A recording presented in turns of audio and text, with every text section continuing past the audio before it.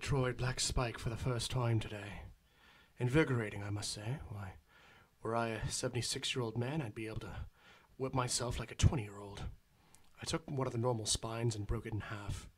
The normal size is near that of a curved sewing needle, or perhaps the rib of a trout. I found that daunting, and yet decided I should still try it. I'm not sure what overcame me, but I'm glad it did. I haven't felt this free in months.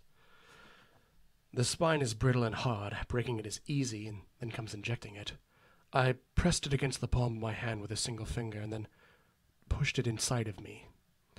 It broke in half again, the smallest half extending from my fingertip and the other from my palm. From my palm, I could feel the spine dissolve within my blood.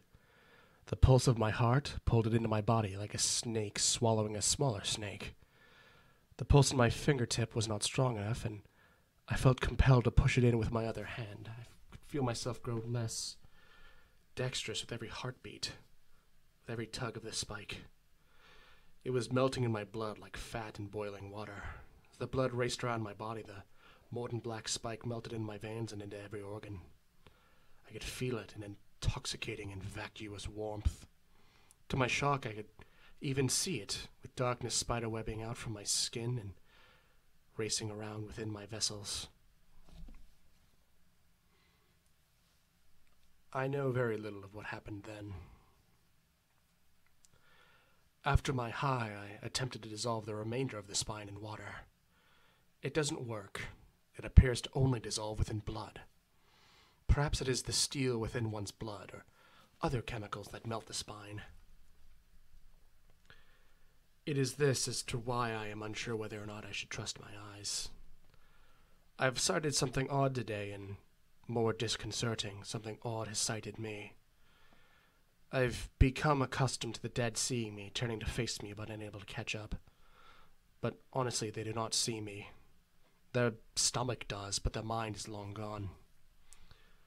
As something pervaded my gaze today. As I watched the dead mill about, I saw something stride through them with purpose as opposed to the shambling of the others. Human shaped, but it wore a thick cloak. It strode through the streets, ignored by the dead, save for those that were in its way. These bolted out of the way, like the pole from the path of a king. It looked around, sniffing the air. It could tell I was here. I watched it, bemused. Nothing in the dead army could reach me from where I was, atop a roof. The high was still dulling my instincts in regards to fear. I should have run, but didn't. The cloak thing then dropped to all fours and began to run. This sharpened my senses, dropping the high from my blood as it all ran cold. I could see a large metal weapon on its back, like an axe or a machete. But as it ran, I could see that it wouldn't need them. Despite the upright stance, it had claws and likely teeth. I darted across roofs away from it. I do not know if I have lost it, but if you do not find another note from me, that thing is why. I leave you as Asher, more hunted now than I have ever been before.